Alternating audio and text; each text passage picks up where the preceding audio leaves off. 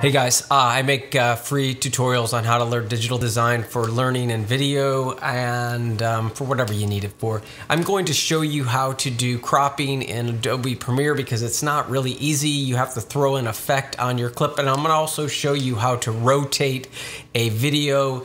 This is a video that was made by my daughter when she was like 10 years old on how to make a duct tape wallet. I am going to look at the effects panel here. You can't just go ahead and crop like you can in other tools. You have to throw on an effect. And in effects and in transform, there is a cropping effect. I want to drag that on top of the clip. Once that's up there, you'll see that I have the cropping capability um, effect now that's there. So if you want to crop it, click and drag that percentage to crop that video. Now to rotate the video, so that's done with cropping, just effect, transform, crop. You can search inside the effect.